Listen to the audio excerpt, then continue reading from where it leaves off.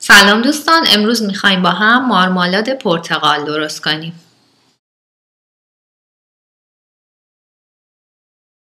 برای این مارمالاد بهتره که از پرتقال بدون هسته استفاده بکنیم. حدود چهار تا پرتقال متوسط یا یک کیلو پرتقال می‌خوایم و دو عدد لیمو. پرتقالا رو به صورت نازک ورقه می‌کنیم.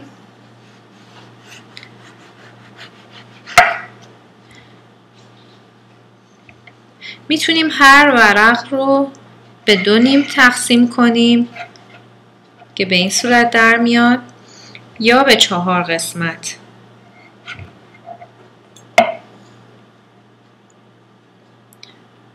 از لیموها یکیشو به همین صورت ورقه می‌کنیم. یکی دیگر رو پوستش رو رنده می‌کنیم. و این رنده رو داخل ظرفی که می‌خوایم مارمالاد رو درست کنیم میریزیم. آب این لیمو رو هم می‌گیریم و داخل ظرف میریزیم.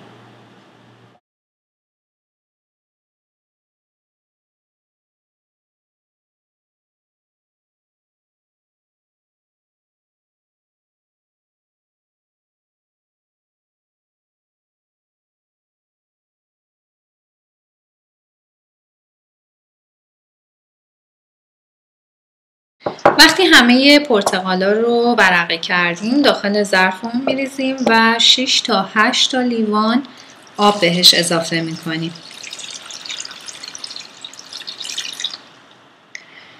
ظرف رو روی حرارت می‌ذاریم مرتب هم می‌زنیم تا اینکه به جوش بیاد.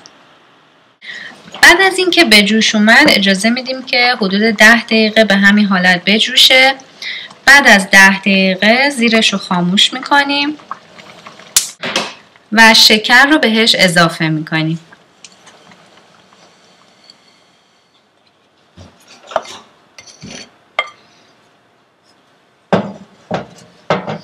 هم می‌زنیم تا شکر حل بشه.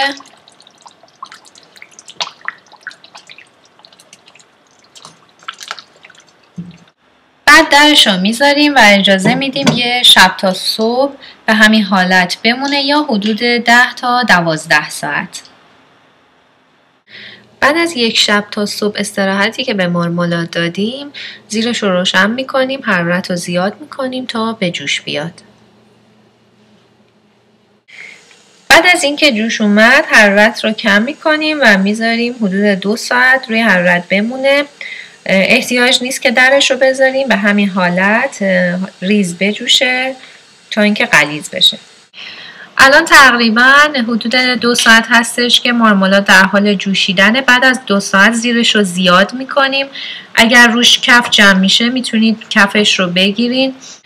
برای اینکه متوجه بشیم مارمالاد آماده هستش دو روش وجود داره. یکی اینکه از دماسنج استفاده بکنیم معمولا برای مارمالاد یا مربا میگن به دمای 220 درجه فارنهایت یا 105 درجه سانتیگراد بعد برسه. ولی گاهی اوقات قبل از اینکه به این دما برسه مارمالاد آماده است. به خاطر همین بهتره تو اون نیم ساعتی که می‌ذاریم بجوشه گاهی اوقات چک بکنیم. برای چک کردن یه مقدار از مارمالاد رو داخل ظرفی که قبلا حدود 5 دقیقه داخل فریزر گذاشتیم میریزیم اجازه میدیم خنک بشه.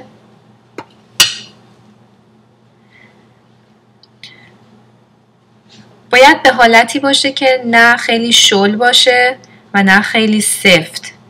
اگر که دیدین خیلی شل هست باز یه مقدار دیگه باید بجوشونین و اگر خیلی سفت بود یه مقدار آب میشه بهش اضافه کرد.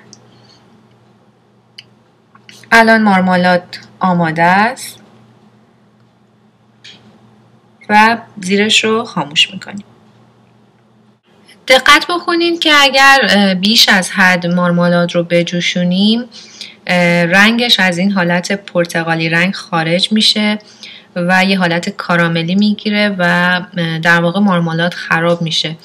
باید توی اون نیم ساعت آخر که داریم مارمالاد رو میجوشونیم دائم چک بکنیم که بیش از حد روی حرارت نمونه. دوستان مارمالاد پرتقال هم آماده شد. هر چقدر که سردتر میشه حالت مارمالاد رو بیشتر به خودش می‌گیره. نکته ای که باید در مورد این مارمالاد رعایت بکنین اینه که توی اون دو ساعت باید رو حرارت خیلی کم باشه. ولی بعد از اون که شعله رو زیاد می‌کنین باید کاملا حواستون بهش باشه که بیش از حد پخته نشه. امیدوارم که درست بکنید و لذت ببرید.